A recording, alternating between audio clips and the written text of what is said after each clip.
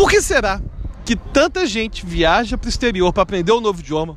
Fica lá um ano, dois anos. Tem gente que trabalhou dez anos no exterior e não fala nada daquele idioma. Aliás, eu conheço gente que às vezes faz um doutorado de sanduíche, né? Esses convênios das faculdades federais fazem lá intercâmbio um ano estudando na outra faculdade e não aprende nada do idioma do país. Por que será que isso acontece? Mas só depois da vinheta.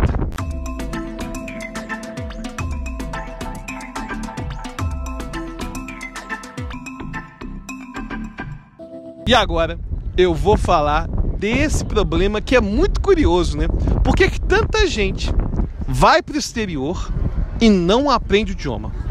O cara fica trabalhando nos Estados Unidos 10 anos e não aprende o idioma. Vou falar o problema. O poliglota Benny Lewis chama esse fenômeno de a bolha dos expatriados. Olha, como é que seria essa bolha dos expatriados? Quando você vai para um outro país, muda muita coisa.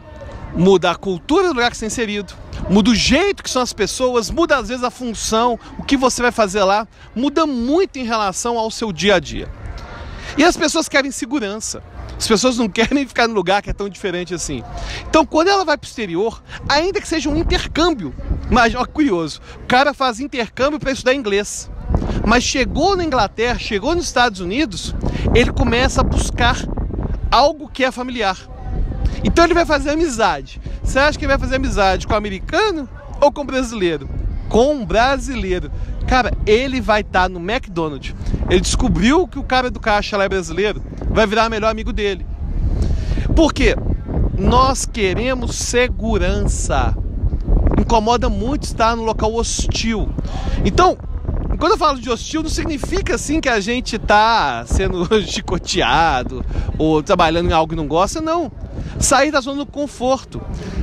Então, se você vai fazer uma viagem exterior, fuja ao máximo de brasileiro. Não estou falando que você não pode sair com o pessoal do Brasil, não. Sai sim, mas evite.